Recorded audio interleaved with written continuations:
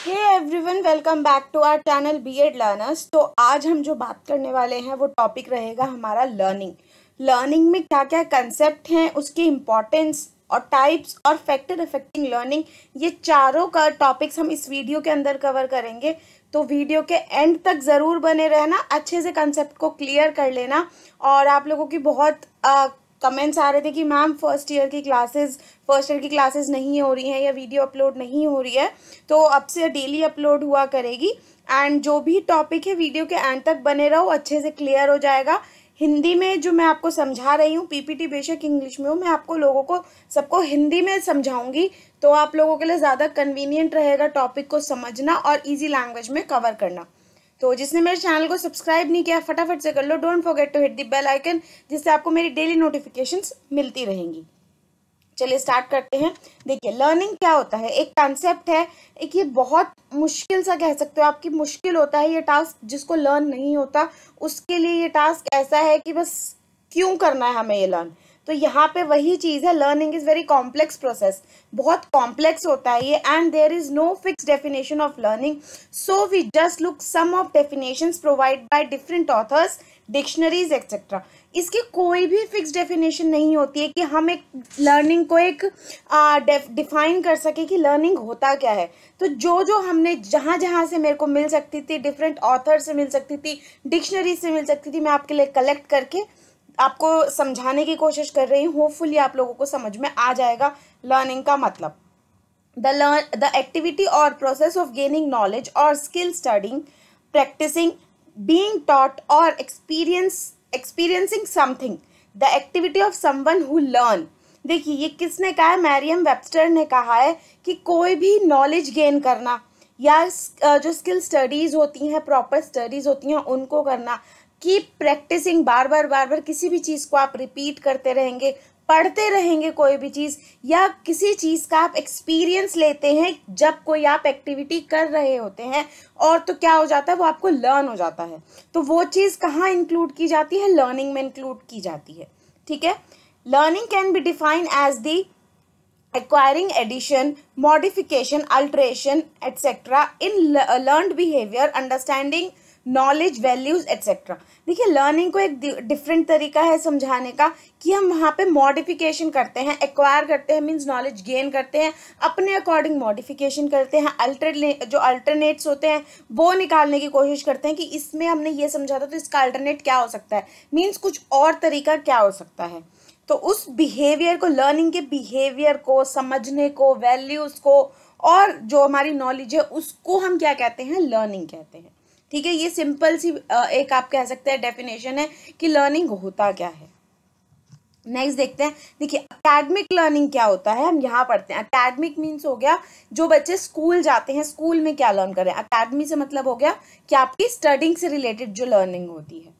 It can be defined as the learning happening in the classroom और increase the achievement in academics देखिए, ये define ऐसे किया जा सकता है कि जो क्लासरूम में एक्टिविटीज़ हो रही हैं या जो अकेडमिक में आप अचीवमेंट्स इंक्रीज कर रहे हैं, उसे हम क्या कहेंगे? अकेडमिक लर्निंग क्यों? क्योंकि आप लर्न करके एक अपने गोल को हासिल कर रहे हैं। Second every activity in the classroom can be set to be learning activity देखिए, जो भी क्लास में एक्टिविटी होती है, हम उसको क्या कहते हैं? लर्निंग एक्टिविटी कहते हैं क्यों वो क्लास में हो रही है। ये यहाँ तक आपको समझ में आ गया होगा। नेक्स्ट देखते हैं, यहाँ पे एक और डेफिनेशन में आप लोगों के लिए साथ शेयर कर रही हूँ कि मैंने आपको कहा था कि डिक्शनरीज में से कहाँ, जहाँ से मुझे डिफरेंट ऑथर से मिली, मैं आप लोगों के लिए वो लेकर आई हूँ। देखिए Peter C Brown हेरनी L Roediger Roediger third Mark A McDaniel acquiring knowledge and skills and having them re uh, readily available for uh, from memories so you can make sense of future problems and opportunities ठीक है इसमें क्या कहा है ये जो different authors हैं इन्होंने क्या बोला है कि knowledge क्या होता है कि जब आप अपने माइंड में कोई चीज़ सेट रखते हैं और उसके अकॉर्डिंग आप अपने फ्यूचर प्रॉब्लम्स को अपॉर्चुनिटीज़ आपको मिल रही हैं, उसको समझ पाते हैं इंट्रैक्ट कर पाते हैं या डिफरेंसेस देख पाते हैं तो उस प्रोसेस को क्या कहते हैं, हम लर्निंग का नाम दे देते हैं। ठीक है? नेक्स्ट देखते हैं। डेफिनेशन ऑफ़ लर्निंग फिर से और डेफिनेशंस हैं। जितनी भी डेफिनेशंस हैं, जो आप लोगों को समझ में आती हैं, वो आप ऑप्ट करिए, बाकी सब छोड़ दीजिए। Ruth C. Clark and Richard E. Marer, learning involves strengthening correct responses and weakening incorrect responses. देखिए लर्निंग क्या करता है जो हमारी स्ट्रेंथ होती है वो करेक्ट रिस्पॉन्स करता है जो हमारी मान लीजिए आप किसी भी चीज़ में बहुत अच्छे हैं तो वहाँ पे आपको करेक्ट रिस्पॉन्स देगा और जिस चीज़ में आप वीक हैं वो आपसे धीरे धीरे छूटता जाएगा कि नहीं, मैं यहाँ पे वीक हूँ, ये चीज़ छोड़ के आप अपनी जो भी आपकी स्ट्रेंथ है, उस पर आप ज़्यादा फोकस करेंगे, ज़्यादा आप अपनी पावर लगाएँगे तो वो चीज़ लर्निंग आपको अच्छे से हो जाती है। Learning involve editing adding adding new information to your memory learning involve making sense of the presented material by attending to relevant information mentally reorganisation reorganising it and connecting it with what you already know देखिए learning का मतलब क्या होता है कि learn आप जो भी कुछ, आप कहीं भी किसी भी इन्वायरमेंट में जा रहे हैं तो न्यू इन्फॉर्मेशन आप अपने माइंड में रिकलेक्ट करते हैं और जो आप अपनी जो वो होती है, क्या कहते हैं इन्फॉर्मेशन होती है, वो रेलिवेंट तरीके से अटेंड करते हैं एंड मटेरियल के अंदर presented material by attending to relevant information it means कि आप जो, आपके माइंड में जो भी मटेरियल है, जो भी नॉलेज है, जो भी मेमोरीज है, उसको इस तरीके से रिप्रेजेंट करते हैं जहाँ पे आप जो चीज़ अटेंड कर रहे हैं, वो आपको माइंड में क्लिक होता है। मेंटली रिकग्नाइज होने लगता है कि नहीं, ये चीज़ ऐसे नहीं, ऐसे थी है, ये चीज़ ये मैंने फेस किया हुआ है। And connecting it with what you already know और जो आप लोगों को ऑलरेडी पता होता है, उससे कनेक्ट हो जाता है। एग्ज़ाम्पल के तौर पे आप मान लीजिए आपकी कोई मेमोरी है, आप कहीं गए हैं।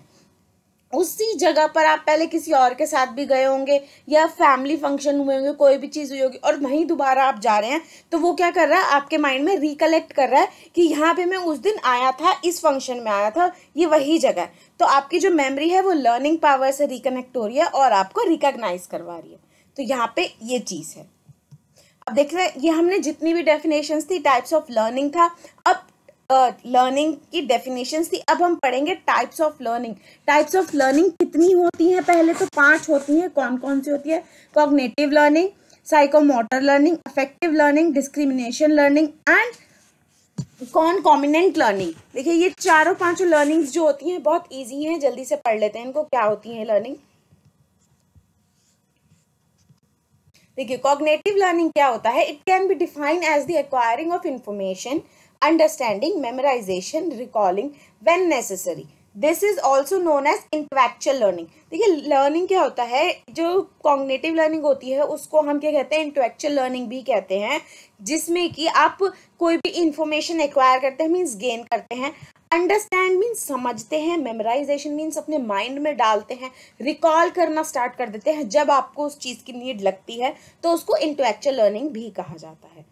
Even learning anything is is not possible without cognitive skills and most of the learning is linked to cognitive learning and it is very complex process. देखिए, सबसे जो आप कह सकते हैं, देखिए आ, कोई भी स्टेप चढ़ना है तो सबसे मेन स्टेप क्या होता है? हमारा फ़र्स्ट स्टेप होता है। अगर हमने फ़र्स्ट स्टेप बेसिक क्लियर कर लिया तो आप आगे एडवांस कोर्स भी आराम से कर सकते हैं। फॉर एग्ज़ाम्पल अगर आपने ए बी सी डी सीखी है तो आपको वर्ड्स पढ़ने में कोई प्रॉब्लम नहीं आएगी। अगर आपने ए बी सी डी ही नहीं ढंग से पढ़ी नहीं ढंग से आपको पता तो आप आराम से वो वर्ड्स नहीं रिकॉल कर सकते नहीं पढ़ सकते। सेम ऐसा ही यहाँ पे पॉसिबल है कि अगर आप कॉग्नेटिव स्किल्स आपकी नहीं अच्छी होंगी मीन्स लर्निंग पावर इंटेलेक्चुअल करने की पावर पावर जो आप डिफ्रेंशिएट कर रहे हैं मेमोराइज कर रहे हैं, वो पावर अच्छी नहीं होगी तो आप कोई भी चीज़ लर्न आराम से नहीं कर सकते। तो वो चीज़ यहाँ बताई गई है कि कॉग्नेटिव स्किल सबसे मेन होता है मोस्ट ऑफ़ दी ये समझ लिए मोस्ट इंपॉर्टेंट पार्ट होता है ये हमारा लर्निंग प्रोसेस का, जो कि वो थोड़ा कॉम्प्लेक्स भी रहता है, लेकिन अगर आपने इसे किया तो वो लिंक्ड कर पाएगा ईजिली लिंक्ड कर पाता है मेमोराइजेशन से अंडरस्टैंडिंग से इंफॉर्मेशन से रिकॉल कर पाता है जब उसको ज़रूरत होती है। ठीक है? नेक्स्ट देखते हैं साइकोमोटर लर्निंग और एक्शन लर्निंग देखिए, नाम से ही समझ में आ रहा है एक्शन लर्निंग और साइकोमोटर जो आपको अच्छा लगे वो आप कैच कर लीजिए, बाकी आप छोड़ दीजिए। एक्शन मीन्स जब आप कोई वर्क कर रहे हैं। साइकोमोटर मीन्स आप कंटिन्यूसली वर्क कर रहे हैं, जैसे आपने जिम जा रहे हैं एक्सरसाइज कर रहे हैं, कोई आप रनिंग कर रहे हैं रीडिंग कर रहे हैं, कोई भी एक्शन आप कर रहे हैं तो वो चीज़ यहाँ पर आती है।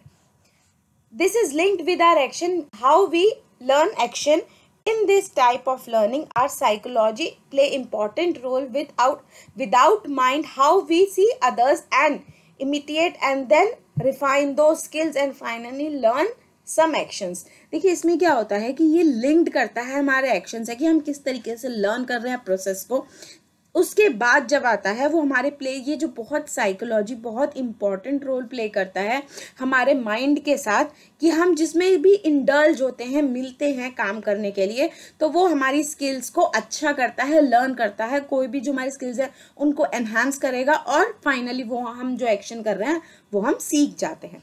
For example riding a bicycle swimming playing any game देखिए, बच्चे आजकल क्या है, अगर कोई ये जैसे साइको मोटर लर्निंग जो है जो हमारी यूथ है, जो नॉर्मल एज है बच्चों की, जैसे आप ले सकते हैं पाँच साल से बारह तेरह साल तक का बच्चा बहुत खेलता है तो वो खेलने में उसका ज़्यादा दिमाग होता है तो उस एज में वो बाइसिकल भी अच्छी सीख लेता है। अगर हम प्लेइंग, उसको स्विमिंग सिखाएँ तो वो बहुत जल्दी कैच कर लेगा। जबकि अगर थोड़ा बड़ा हो जाता है बच्चा तो उसको प्रॉब्लम आती है। बट अगर जो छोटे बच्चे को आप कराओगे तो वो जल्दी सीख जाता है। क्यों? उस टाइम उनकी ग्रोइंग एज बहुत तेज़ी से बढ़ रही होती है उनका माइंड तो वो हर चीज़ बहुत जल्दी कैच करते हैं। या कोई भी गेम उनको सिखाओ तो वो सीख जाएँगे। This type of learning requires coordination between brain and body देखिए, ये जो लर्निंग है, वो कोऑर्डिनेट करती है हमारे ब्रेन और बॉडी को। ब्रेन कहता है भागो तो बॉडी भागना शुरू करती है। ब्रेन कहेगा स्विमिंग जा रहे हैं तो स्विमिंग करनी है। तो बॉडी हाथ और पैर की मूवमेंट करती है। तो वो चीज़ हमारी कोऑर्डिनेशन में रहती है। In institution we learn practical skills through this type of learning institution में हम जहाँ पढ़ने जाते हैं, उसे इंस्टीट्यूशन कहा जाता है। जहाँ हम पढ़ने जा रहे हैं, वहाँ इस टाइप की प्रैक्टिकल लर्निंग्स भी कराई जाती हैं। नेक्स्ट देखते हैं। अफेक्टिव लर्निंग अफेक्टिव लर्निंग क्या होता है? जिसमें this type of learning relates with that how we include emotions and feelings how we value learning like and dislikes in learning some behaviour should be done और not etcetera देखिए, इसमें क्या है? इसमें में समझाया जाता है इमोशंस इंक्लूड होते हैं इस लर्निंग के अंदर, फीलिंग्स इंक्लूड होती हैं, और किस तरीके से हमें लर्निंग की वैल्यू पता चलती है, लाइक like पता चलते हैं कि क्या पसंद है, क्या नहीं पसंद है लर्निंग के अंदर, हमारा बिहेवियर डिपेंड करता है और नहीं भी करता है, किस चीज़ पे, हमारा किस चीज़ पे डिपेंड करता है इफ़ेक्टिव लर्निंग पे। देखिए, जिस बच्चे ने कभी फैमिली की, आप ये कह सकते हैं कि एक फैमिली, जो फैमिली होती है, उसका प्यार देखा ही नहीं है तो उसके अंदर फीलिंग्स होंगी ही नहीं। क्यों? उसको ये बस इतना होगा कि हाँ मम्मा नहीं है, पापा नहीं लेकिन जो एक अटैचमेंट होती है कि हाँ ये होना चाहिए, वो फीलिंग्स कहाँ से आती हैं? जब फैमिलीज़ के साथ तुम रहना शुरू करते हैं तो वो फीलिंग्स जो इमोशंस होते हैं, वो कब आपके डेवलप होना शुरू होते हैं कि नहीं, इसको दर्द हो रहा है तो मुझे ये चीज़ करनी है या भाई को या बहन को पेन हो रहा है तो दूसरा वो चीज़ उसको इंक्लूड करेगा। मीन्स अगर बहन को दर्द हो रहा है तो भाई को भी पेन होना शुरू हो जाएगा कि क्यों मेरी बहन इतने दर्द में है? तो वो चीज़ इमोशंस और इंक्लूड्स कहाँ आते हैं? हमारे इफ़ेक्टिव लर्निंग में आते हैं। ठीक है? हमारी पसंद, नापसंद लर्निंग में कि हमें, हमारे बिहेवियर को क्या करना चाहिए, क्या नहीं करना चाहिए, वो सब चीज़ इस पार्ट के अंदर इंक्लूड की जाती हैं। In this type of learning we receiving responding values organising character characterising और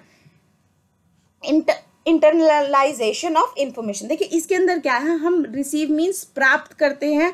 रिस्पॉन्डिंग मीन्स हम तुरंत अगर हमने जब जो चीज़ रिसीव की उसका हम जवाब दे रहे हैं।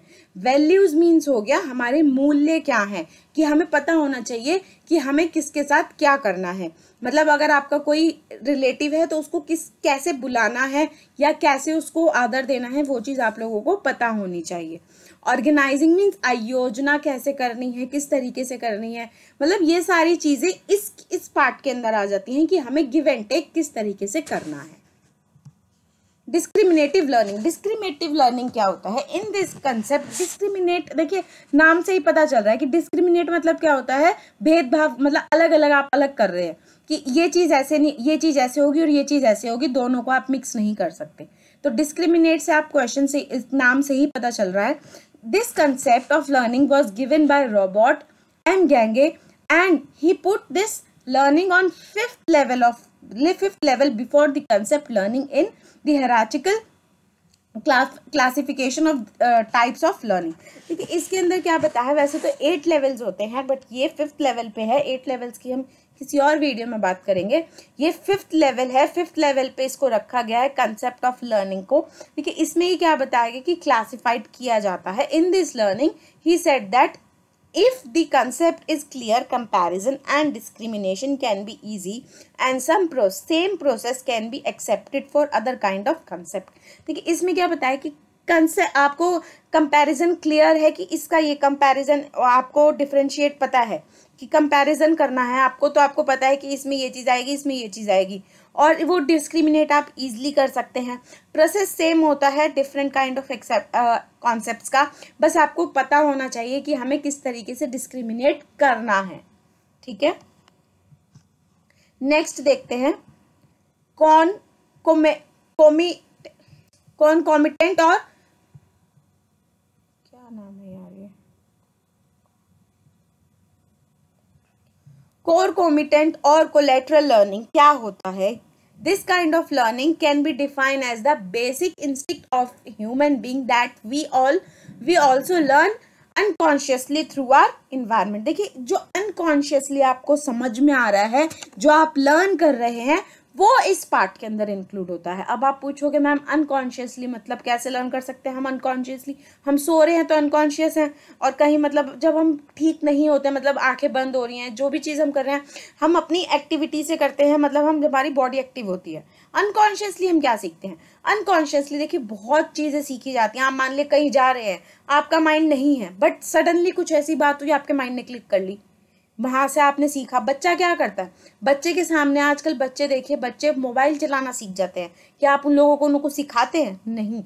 बच्चे ने अनकॉन्शियसली सीखा। कैसे सीखा? क्योंकि मम्मा या पापा या कोई भी फैमिली मेंबर फ़ोन चला रहा बच्चे के सामने। बच्चे ने कैच कर लिया। वो अनकॉन्शियसली सीख जाता है। वो चीज़ जो आप इन्वायरमेंट से अनकॉन्शियसली सीखते हैं, वो चीज़ यहाँ इंक्लूड की जाती है। We learn attitudes, values, likes and dislikes from our environment. For example, if the society near us is honest, loyal, supportive, we will we will be like them through unconsciously learning. देखिए ये बहुत छोटा सा example है अगर आपको कोई आप इसमें तो आपको एग्ज़ाम्पल दिया गया है कि आपकी जो सोसाइटी है वो ऑनेस्ट है आपको लग रहा है कि नहीं ये जो मेरा पड़ोसी है ये बहुत अच्छा है ईमानदार है, बहुत सपोर्ट करता है तो अनकॉन्शियसली आप भी उसकी तरफ़ झुका, झुकाव हो जाता है आप लोगों का कि नहीं, वो अच्छा है तो मैं भी अच्छा रहूँगा, मैं भी अच्छी चीज़ करूँगा, मैं भी उसके साथ अच्छा ही करूँगा, गलत नहीं करूँगा। तो वो चीज़ अनकॉन्शियसली आपने लर्न करी और उसको इम्प्लीमेंट कर दिया, ठीक है? So in classroom other factors are very also very important how teachers behave with other students और अदर स्टाफ्स और यूजेज वर्ड्स। देखिए, बहुत इंपॉर्टेंट रोल प्ले करती है हमारी लाइफ में एक टीचर अगर हमें टीचर अच्छी मिल जाती है, हमें वैल्यूज़ भी आ जाते हैं, हमें सारी चीज़ें भी पता होती हैं कि हमें किस तरीके से क्या चीज़ करनी है ऑनेस्ट रहना है, नहीं रहना है, हमारा टॉकिंग का बिहेवियर कैसा होना चाहिए, हमारी प्रेजेंटेशन खुद की कैसी होनी चाहिए। अगर टीचर एक अच्छा बन के जाता है स्कूल में तो जो गर्ल्स होती हैं या बॉयज़ होते हैं इम्प्रेस होते हैं। यार टीचर ऐसी आई है, हमें भी अच्छा लगना है। मैं भी उनके जैसा बनूँगा। या जो वो किस तरीके से समझा रही हैं, मुझे भी वो चीज़ ऑप्ट करनी है। और टीचर गलत बोल रही है तो आप लोगों के ऊपर क्या पड़ेगा कि यार, ये तो ऐसे बोलती रहती हैं। अच्छे जो बच्चे होंगे, वो अवॉइड करना शुरू कर देंगे। लेकिन जो बच्चे बहुत जल्दी गलत चीज़ों को कैच कर लेते हैं, वो क्या करेंगे? वो गलत चीज़ की तरफ़ भागेंगे। तो जो टीचर है, वो हमारा जो है लाइफ में बहुत इंपॉर्टेंट रोल प्ले करती है कि टीचर अदर स्टूडेंट्स के साथ कैसे बिहेव कर रहा है स्टाफ के साथ कैसे बिहेव कर रहा है या किस तरह के वर्ड्स वो बोल रहा है, ठीक है? फैक्टर इन्फ्लुएंसिंग लर्निंग अब हम बात करेंगे फैक्टर्स क्या क्या हैं जो लर्निंग को इन्फ्लुएंस करते हैं। Environmental factor psychological factor motivation factor interest communication emotions and intelligence. ये जितने भी फैक्टर्स हैं, आप लोगों के ये सारे स्टॉप वीडियो में अभी मैं नेक्स्ट कवर कराऊँगी। अगर वीडियो पसंद आ रही है तो don't forget to hit the bell icon जिससे आपको मेरी डेली नोटिफिकेशंस मिलती रहे और अपने फ्रेंड्स के साथ कलीग्स के साथ सिबलिंग्स के साथ, जिसको लगता है कि एग्ज़ाम देने वाले हैं, उनके साथ, सबके साथ ये वीडियो इतनी शेयर करो कि उनको भी अच्छे से कंसेप्ट क्लियर हो जाए। और सब्सक्राइब तो मेरे चैनल को कर ही देना। देखिए फ़र्स्ट पढ़ते हैं इन्वायरमेंटल फैक्टर इन्वायरमेंटल फैक्टर क्या होता है? Here environmental environment can be environment can be society distraction can also hamper the learning देखिए हैम्पर कर देती है मीन्स बूस्टअप कर देती है हमारी क्या? सोसाइटी को कल्चर जो को कल्चर्स होते हैं बैकग्राउंड होते हैं, उसको करती है। सोसाइटी सोशो कल्चर बैकग्राउंड जो हमारी प्ले करती है इसको एक ये भी कह सकते हैं कि हमारी सोसाइटी से पता चलता है कि हम कि, क्या हैं। कहते हैं ना कि उसके दोस्तों से पहचान होती है इंसान कैसा है। कभी भी रिलेटिव से पहचान नहीं होगी फैमिली से पहचान बाद में होती है। बच्चा कहीं भी जाता है तो फैमिली लेके नहीं जाता है दोस्त लेके जाता है। तो उसकी पर्सनैलिटी और दोस्त दो चीज़ होती हैं उससे पहचान हो जाती है कि बच्चा अच्छा है या फिर बिगड़ा हुआ है।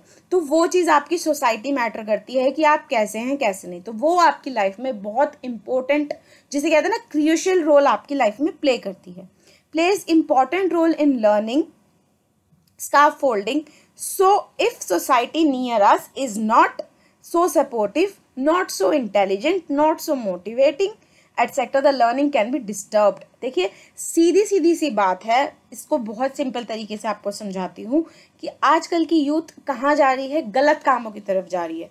कि उन्हें गलत काम ज़्यादा अट्रैक्ट करते हैं वो। क्यों करते हैं? क्योंकि उन्हें क्या लग रहा है कि जो जिस बैकग्राउंड से वो बिलोंग कर रहे हैं, उनको अगर एक गलत दोस्त मिल गया तो वो गलत सोसाइटी में जा रहे हैं। ठीक है, जहाँ पे ज़्यादा मोटिवेशन नहीं मिलता है उन्हें। ना इंटेलिजेंट पीपल्स मिलेंगे, ना सपोर्टिव मिलेंगे कि तू ये गलत काम मत कर, तू अच्छा काम कर और ये काम कर। मतलब अपने घर को चला या अपनी फैमिली को देख अपने खुद को देख, अपना फ्यूचर बना, वो चीज़ नहीं देखेंगे।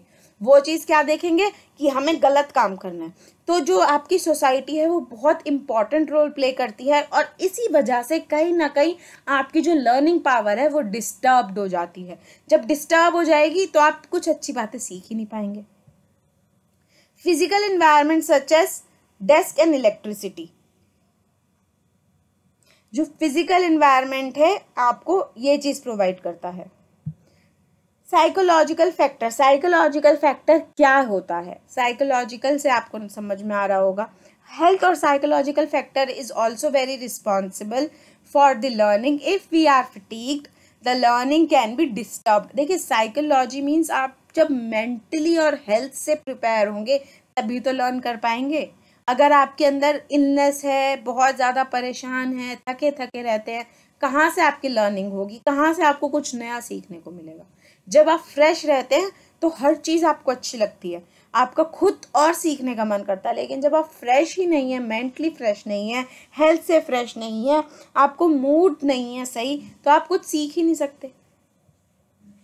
If we are healthy we can participate in every class activity and enhance learning देखिए अभी मैंने आपको बोला अगर आप हेल्दी हैं तो आप हर चीज़ में पार्टिसिपेट कर सकते हैं क्लास की एक्टिविटीज़ में और अपनी लर्निंग को बढ़ा सकते हैं Illness can be acute, chronic, injury, small wound, etc. Also hampers the learning because they work as interruption of in our learning process. देखिए जो illness means होता है यहाँ बीमारी अगर जब बीमारी होगी छोटी हो या बड़ी हो क्रॉनिक हो या इंजरी, जब आपको छोटा सा, चाहे स्मॉल बाउंड मीन्स आपको छोटी सी चोट लगी है, वहाँ पे छोटा सा जख्म आ गया है आपको तो वो चीज़ भी आपकी डिस्टर्ब कर देगा आपकी लर्निंग प्रोसेस में।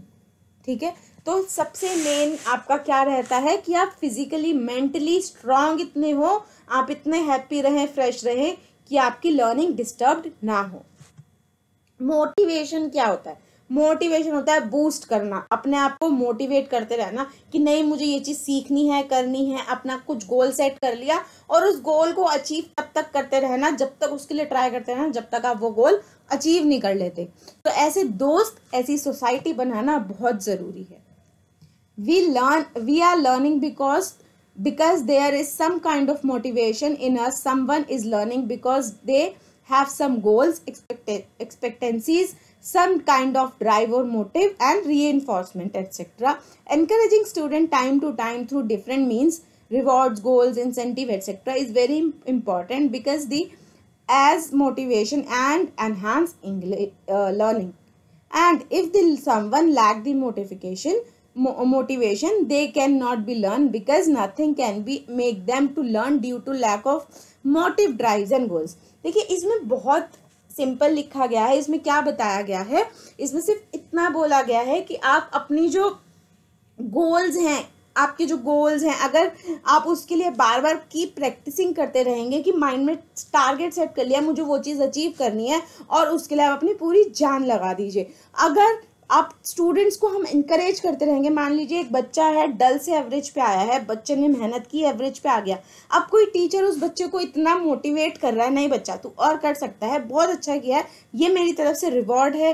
कोई भी गोल दिया है, उसे कोई भी गिफ्ट दे दिया, उसे मेडल दे दिया सर्टिफिकेट दे दिया पूरी क्लास के सामने तो उसमें बूस्टअप आ गई। सेम ऐसे ही इंटेंस इंसेंटिव्स होता है कि अगर हम जॉब कर रहे हैं, उसको, उनको बूस्टअप करने के लिए इंसेंटिव दे दिया एक्स्ट्रा कि आपने ये काम किया अप्रिसिएशन किया आपने ये आपका गिफ्ट है या ये आपकी सैलरी है, जिसमें आपको बोनस दिया जा रहा है तो वो जो हमारा जो एम्प्लॉय है, वो और अच्छा काम करने की कोशिश करेगा गोल्स सेट कर लेगा। इससे क्या होगा मोटिवेशन उसे मोटिवेशन भी मिलेगी और उसकी लर्निंग भी एनहांस हो जाएगी। अगर ये चीज़ें नहीं होती हैं तो वहाँ क्या आता है लैक ऑफ़ मोटिव ड्राइव्स आ जाता है कि वहाँ हमें कुछ सेट ही नहीं करना है। जब सोसाइटी गलत मिल गई, सब कुछ गलत मिल गया तो कुछ सेट नहीं होता। जी, जो हो रहा है, देखा जाएगा, हमें कुछ सेट नहीं करना। हमारा कोई गोल ही नहीं है, कुछ नहीं है, हमें ना लाइफ में कमाना है, कुछ नहीं करना है, सिर्फ़ गलत काम करने हैं। तो वो क्या करता है? हमारे गोल से हमें हटा देता है और हमें नई चीज़ें सीखने से रोक देता है। ठीक है? नेक्स्ट इंटरेस्ट देखिए, किसी भी चीज़ में आपको इंटरेस्ट होगा ऑटोमेटिकली आप अच्छे से लर्न करने लगेंगे। उसको इजी वे में आप ऑप्ट करेंगे और अच्छे से लर्न करेंगे उसको। उसे इजी इतना बना देंगे कि आपको लर्न हो जाएगा। तो इसमें क्या कहते हैं? इवॉर्ड थ्रॉनिक थॉन्डिक क्या कहते हैं?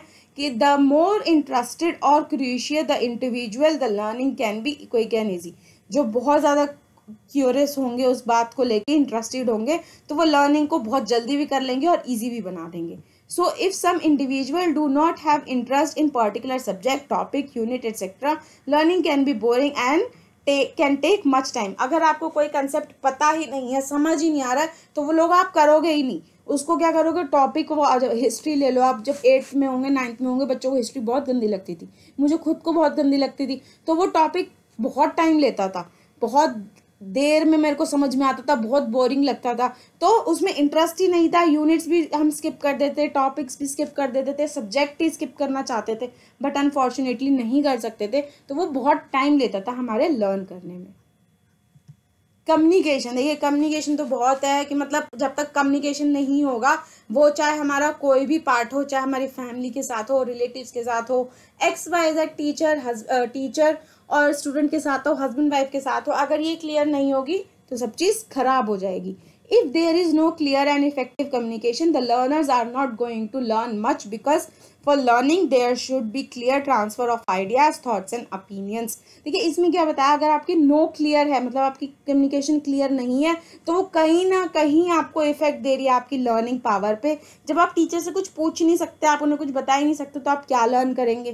ठीक है, वो चीज़ खराब कर रही है। और आपके जो थॉट्स है आइडियाज़ है ओपिनियंस हैं, वो आप शेयर ही नहीं कर रहे क्लियर ही नहीं कर रहे। अगर गलत है तो टीचर कैसे क्लियर करेगी? जब आप उनको बताएँगे। तो वो चीज़ हो ही नहीं रही है तो वहाँ चीज़ वो लैक कर जाती है आपकी learning in communication language skills are very important to us right use right word at the right place communication में क्या होता है कि हमें इतनी नॉलेज होनी चाहिए कि कौन से टाइम पे हमें क्या चीज़ राइट बोलनी है। हमने एक वर्ड राइट बोला फ़र्स्ट इंप्रेशन लास्ट इंप्रेशन होता है, सबको पता होगा। हमने एक वर्ड ऐसा बोल दिया, हमारा इंप्रेशन ज़ीरो हो गया। और हमने एक ही वर्ड ऐसा बोल दिया, हम ज़ीरो से, जो हमारा लेवल वहाँ कुछ भी नहीं था, हमें कोई जानता भी नहीं था, अब हमारी तारीफ़ कर रहे हैं। तो वो आपकी लैंग्वेज स्किल आपका बोलने का तरीका, आपका पहनावा, वो चीज़ डिसाइड करती है।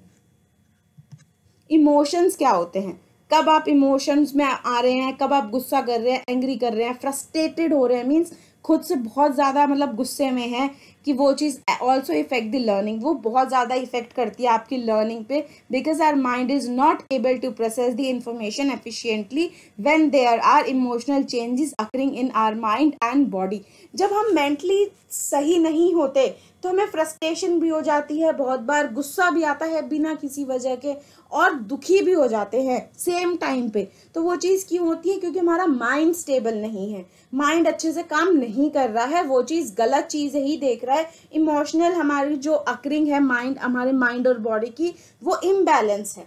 तो उस वजह से हमारी लर्निंग इफ़ेक्ट करती है। इंटेलिजेंस क्या होता है? इंटेलिजेंस होता है in this in this intellectual और cognitive level of learners if they are intellectually not up to the they may have problem in learning and individuals differences play important role in this and all kind of factors देखिए, ये cognitive level और उस type से उसमें आता है ये, अगर बच्चे नहीं कर रहे हैं अप टू द मार्क उनको नहीं प्रॉब्लम लर्निंग नहीं पता है कैसे सॉल्व करनी है, और इंडिविजुअल डिफरेंसेस नहीं पता है, जो हमारी लाइफ में बहुत इंपॉर्टेंट रोल प्ले करते हैं, किसी भी फैक्टर में आप चले जाइए, हर चीज़ में जो इंडिविजुअल डिफरेंसेस होते हैं ना, कि इंडिविजुअल डिफरेंस क्या होता है, एक इंडिविजुअल डिफरेंस ये होता है कि आपको ये पता है कि आपका ये फैमिली मेंबर क्या है। मम्मा है तो उसको मम्मा ही तो बोलोगे। नाम से तो नहीं बोलोगे इंडिविजुअल डिफरेंस आपको ये चीज़ पता होती है। एक होता है खुद के लिए मैं क्या हूँ? मैं किसी को दूसरे से कंपेयर नहीं कर रहे हो। वो चीज़, दोनों चीज़ होती हैं कि हमें रिलेशन किस तरीके से मेंटेन करना है। ठीक है? अगर वो चीज़ ही नहीं है आपके अंदर तो आप बिल्कुल खराब हैं। इट मीन्स अगर आप में बेसिक नॉलेज नहीं है तो वो चीज़ कहीं ना कहीं आपकी लर्निंग को इफ़ेक्ट करती है अप टू द मार्क नहीं लेके जाती है। Are aware that there are so many learning disabilities and I Q matters a lot in learning particular things and something देखिए, जब हम कोई चीज़ लर्न करते हैं ना डिसेबिलिटीज़ आज के टाइम में, ये देख सकते हैं, आप देख सकते हैं हंड्रेड परसेंट में से पाँच परसेंट या दस परसेंट ऐसे बच्चे होते हैं जो नहीं कर पाते हैं अच्छे से लर्न जिनका दिमाग कमज़ोर होता है। अब आपकी आईक्यू लेवल ही इतना कम है कि आप कुछ पढ़ ही नहीं पा रहे हैं वर्ड को। तो आपकी लर्निंग वहाँ पे बहुत ज़्यादा लैक कर जाती है और कुछ चीज़ें आपको नहीं समझ में आती हैं। तो उन बच्चों के लिए स्पेशल क्लासेस दी जाती हैं। तो इस वीडियो को यहीं एंड करते हैं। आप लोगों को अगर समझ में आया हो कंसेप्ट क्लियर हुआ हो तो वीडियो को लाइक शेयर और कमेंट ज़रूर करके बताना कि वीडियो कैसी लगी और मेरे चैनल को सब्सक्राइब ज़रूर कर देना। मिलते हैं नेक्स्ट यूनिट पे। लास्ट यूनिट आपका रह गया है। लर्निंग एंड टीचिंग आपकी बुक कंप्लीट हो जाएगी। फोर्थ यूनिट रह गई है। थर्ड यूनिट मैंने आप लोगों को कवर करा दी है। ओनली फोर्थ यूनिट रह गई है। फोर्थ यूनिट भी जल्दी आ जाएगी। उसके बाद हम न्यू सब्जेक्ट लेंगे। चलिए मिलते हैं नेक्स्ट वीडियो में। तब तक के लिए बाय टेक केयर